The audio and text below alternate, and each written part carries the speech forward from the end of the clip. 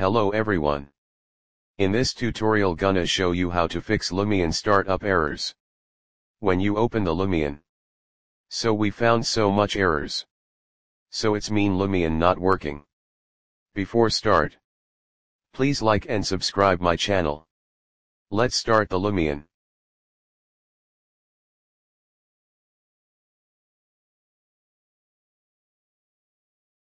You can see so many errors and not launching the Lumion. If you want to close it, open the Task Manager. Select the Lumion. And click on End Task. For to get rid of this problem, go to the search bar.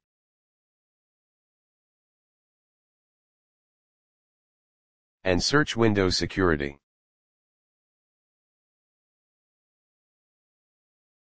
Open the Windows Security. Click on the Virus and Threat Protection. Click on Protection History.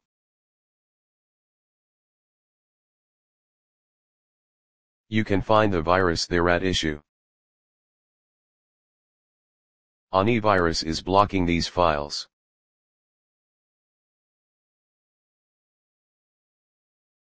Here you can take the action.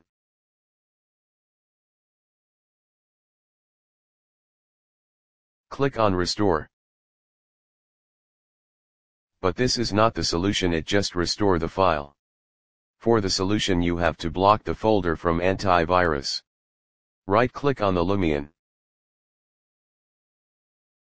Open the file location. Go to the channel folder. Copy the path of this folder. Open the Windows Security again.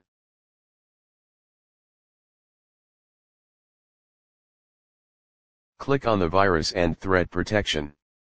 Go to the Manage setting. Scroll down. Go to the Exclusion.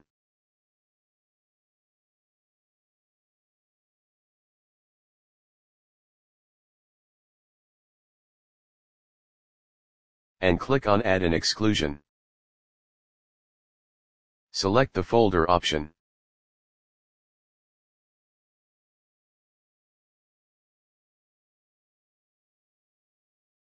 And paste the path here and click on Select Folder.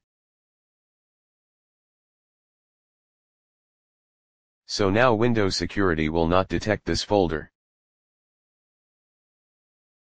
So now open the Lumion.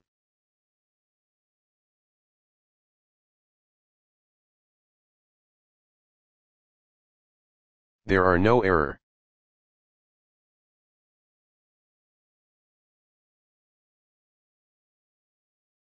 You can see it's loading now. You can open any example.